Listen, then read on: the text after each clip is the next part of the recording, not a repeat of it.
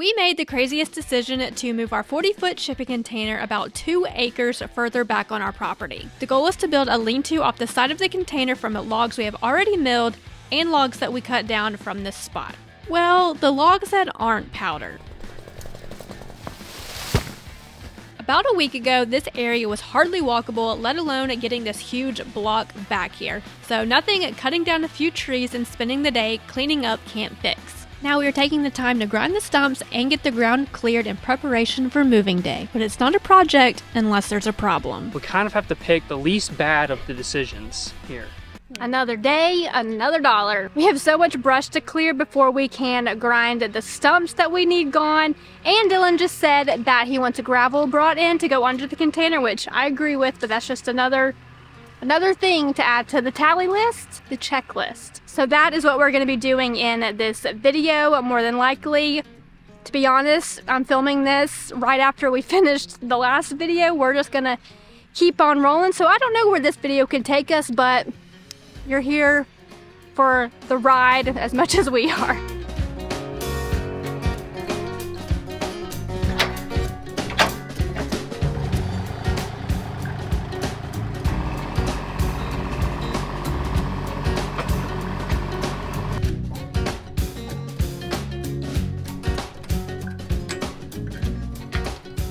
Time to whip out the lane shark.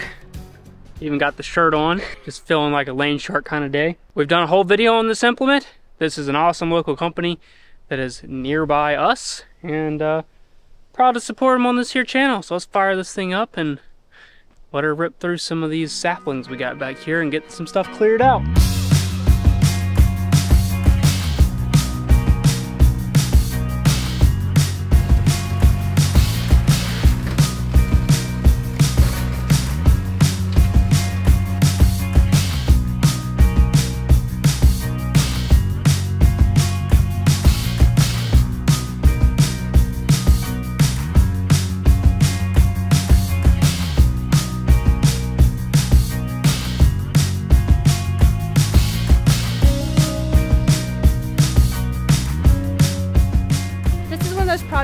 Where it looks worse before it starts to look better.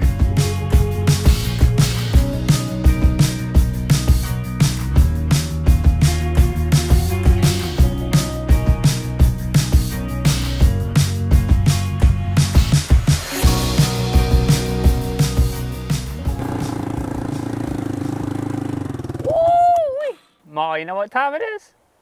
Got my boxes from Bespoke Post in the mail. Gotta get her back in the neutral. There we go.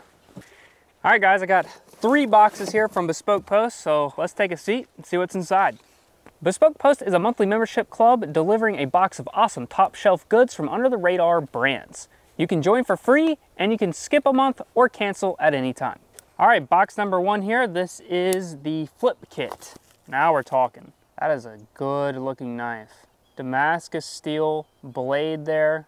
Nice, compact folding knife. Got the more traditional thumb latch on there. 90% of the products come from small brands, many of which are based right here in the US. All right, this is called the Swing Kit. Check this guy out.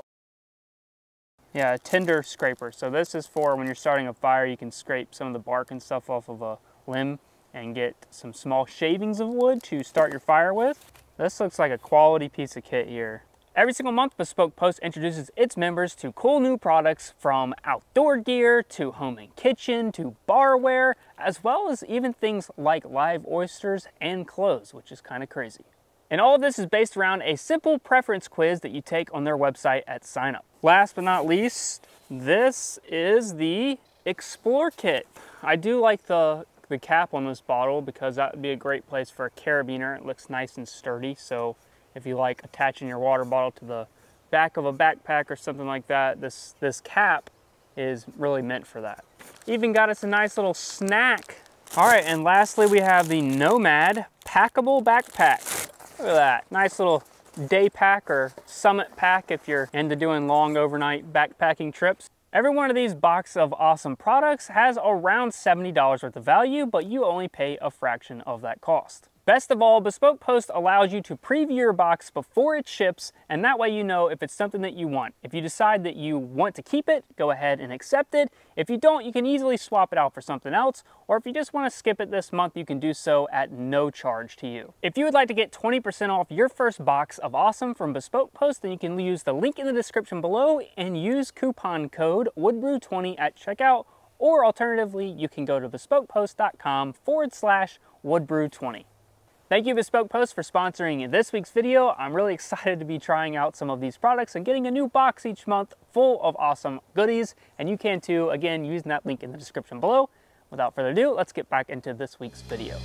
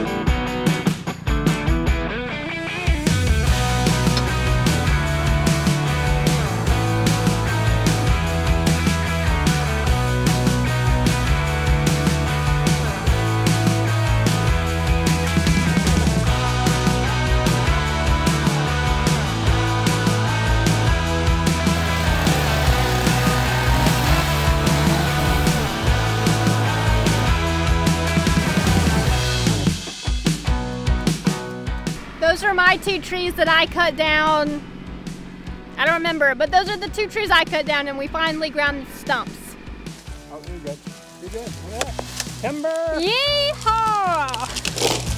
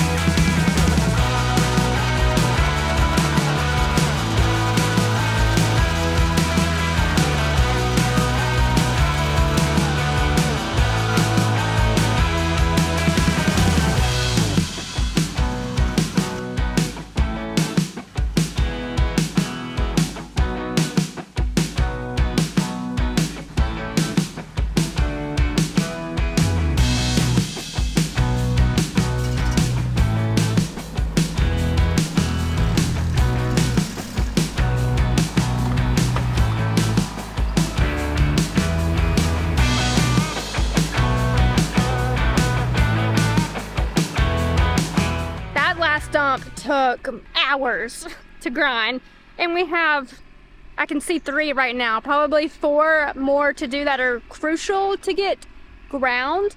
Um, so that is what we're gonna be doing today. It's actually like a few days later from the last clip, but here we are.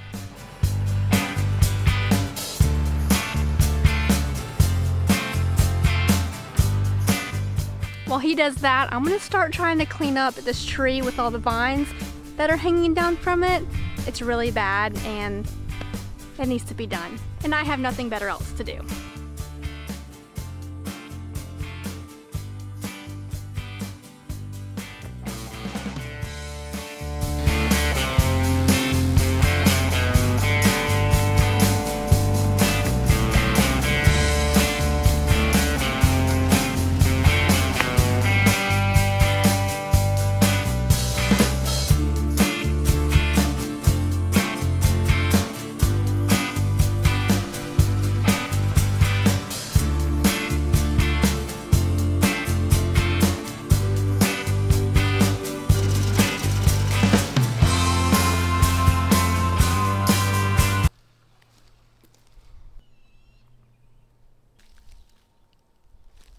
Well, we just ran a string line using the four-wheeler all the way down the property line, which we've never done before, so it's quite interesting to see where our actual property line is. Thankfully, the people who first developed these properties put in these nice pilings in all like eight corners of the different parcels over here. So everyone kind of knows where their property lines is, which is really convenient. So yeah, we're tied in there and we're tied in down on one down there. So like probably seven, eight hundred feet, something like that. this Why are we doing this again? We're doing this so that we can see where the property line is, so that we can make some educated decisions about where the heck to put the container exactly.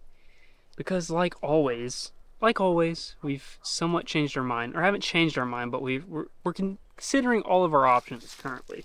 I'll show you what. Sh I'll show you what I mean. So what we've been preaching this entire series is that we're putting the container this way to avoid the grade that goes this way and yada yada yada. Well, we started doing some measuring and we found out that virtually every place we can put it, this lovely oak tree that we are not willing to ever part with is sort of in the way. Doesn't matter where we put it back here, the oak tree makes some part of using this inconvenient. So we're weighing all of our options currently, and so I'll show you one of the other options that we're thinking about right now. So this is our property line coming this way. This is where we've been talking about building that service road into, and then we would turn into the shipping container this way. But now we're sort of thinking, what if we just put it long ways over here? The grade isn't nearly as bad over here. It's built up pretty well. And we only have really one of these stumps to contend with currently over here. So there's a lot more area to put post in the ground and those sorts of things. But what we're sort of thinking is we could leave enough room on this side of the container along with the property line to put a lean-to if we chose to later, which we probably will.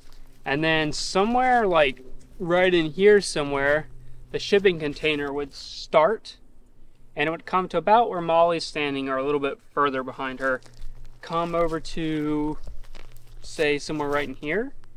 And then the lean-to that the sawmill and everything would be under would come over another 10 feet this way. And the only things we're really contending with that could potentially be a problem are these two little trees that were right here. But that big stump's out of the way, which is good. And then there's, if you turn around, this oak tree again. This will likely make it kind of hard to pull stuff into the lean-to this way. We'll probably have to come around and go in through the front. But I don't think that's going to be much of an issue because this side of the lean-to is where we're talking about keeping the sawmill long term and we don't really move that around much so I don't see that being an issue. However, what we do move around a lot is things like the trailers, the tractor, the lawnmower, all that kind of stuff. And it could go in a lean-to on the other side and would have a clear shot down the service road that we're talking about making. And so it would make that really easy. So we're sort of weighing weighing those options. The problem that we're running into going the original way is that once we measured everything out, we're really close to stumps being in the way of doing what we want to do. But more so, this tree is really in the way. Like, we can't go that far that way as we thought we could because of the drainage ditch over there. And so we're stuck over this way and this thing becomes a real a real problem. We kind of have to pick the least of the bad the least bad of the decisions here. Yeah. More or less. The better of the two. The, the, the least bad. Yeah. They're all kind of bad in their own way. So we made up our mind. We're going long ways. Ah, I guess.